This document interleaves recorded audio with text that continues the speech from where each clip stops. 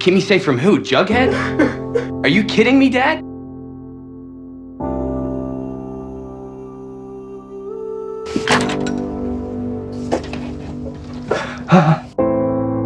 He said he did it, and you know what? I've been waiting my whole life for that man to do the right thing, and I'm done. When did I lose myself? I'm sorry, Cheryl.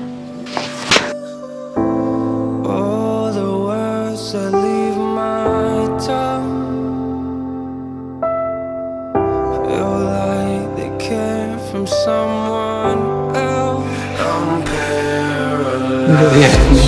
What? Where are my feelings? I know now I was so happy for the first time in so long. I did what I had to do. What I always do. Are you even sorry?